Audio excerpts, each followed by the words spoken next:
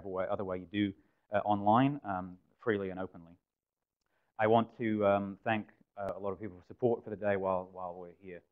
Um, University of Sydney has a scheme called the International Program, International Program Development Fund, which sponsored this meeting.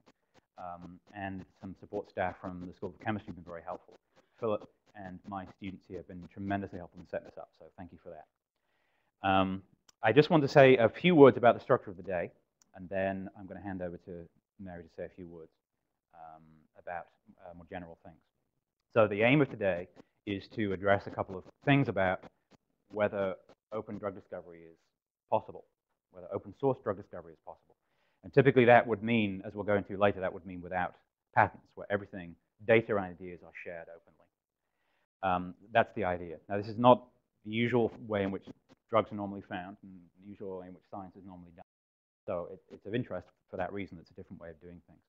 Um, I guess for me, the interest really is in trying to do things differently from the way we've traditionally done them. So science normally is done with a, a paper lab book uh, on, a, on a desk somewhere, and you write in that in pencil or something.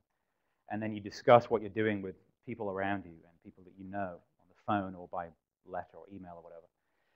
And really, that way of doing things in science is, ironically, is not particularly technologically savvy. I mean, we're meant to be scientists and embracing the new stuff, but, but the internet has been invented, and, and the internet is more than a repository of information. It's a way in which we can work with each other in an unrestricted way.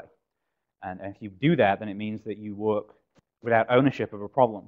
And that's the kind of intellectually interesting thing about open source ideas is that you don't own anything. You, you contribute to a, to a project which exists outside of yourself.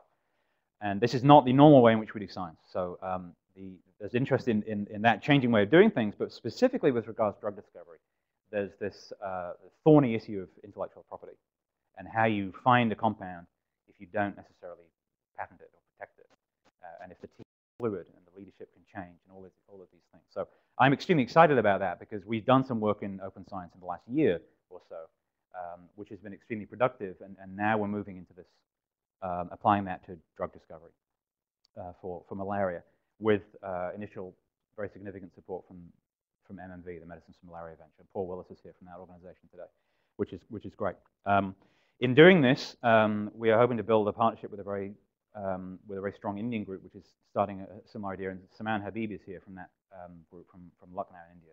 And it's wonderful that she could join us too, um, because there's a lot of synergies there if we're both approaching the same ideas.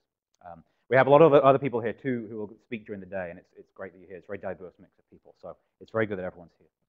Um, so with that in mind, and, and with, the, with the, the promise that this is a kind of fluid day, and you must feel free to ask questions and disagree and, and agree or whatever, um, as, as much as you want.